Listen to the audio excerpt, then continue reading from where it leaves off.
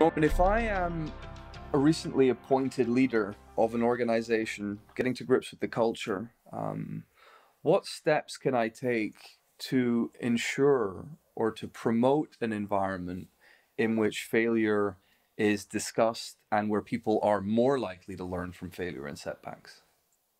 I think the first thing to say, any leader does not want to be discussing this fundamentally. You know, we want to be focusing on the success rightly.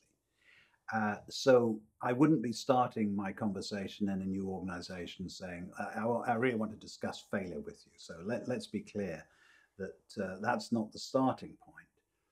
What I think allows a culture to discuss and openly talk about failure is where that culture does already exist. It's, it's kind of hard to move from A to Z in, in one step because people will not trust it. That's the first thing.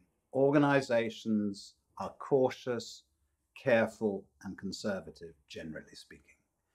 So if you announce that, you know, failure's kind of all right around here, we want to talk about it, that's going to be met with healthy skepticism, I would suggest, in an organization. You have to do this little bit, step at a time. And it starts with conversations.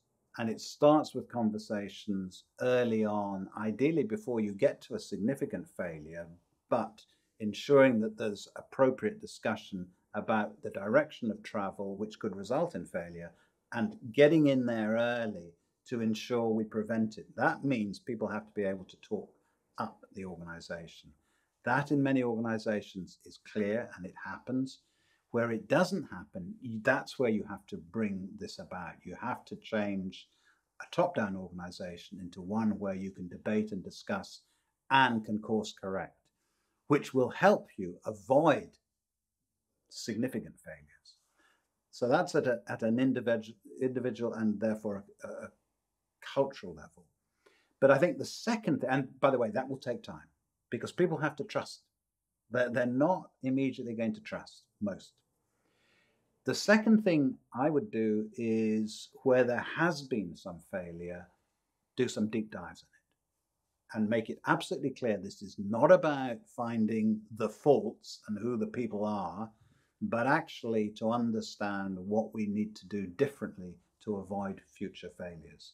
That I think is very healthy. That I think is very practical. And by the way, that will reinforce the cultural shift because we're talking about it. You're not firing five people as a result. And life goes on, and hopefully we've improved our processes, our practices, and, and so on.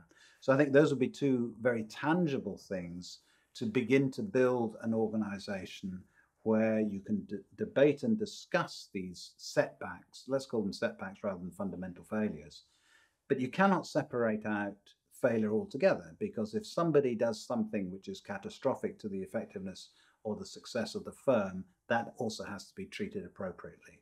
And it's not about excusing failure, it's about the accountability and holding people accountable, I think is absolutely critical to both avoiding failure and when there is failure, then we know what we have to deal with.